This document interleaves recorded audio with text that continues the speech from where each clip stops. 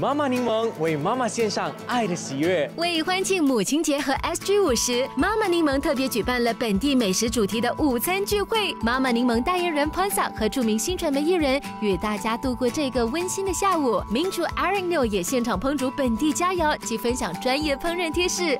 Ponsa 还特别送上母亲节礼物，让大家惊喜万分。母亲节快乐，妈妈柠檬 My Number One，妈妈柠。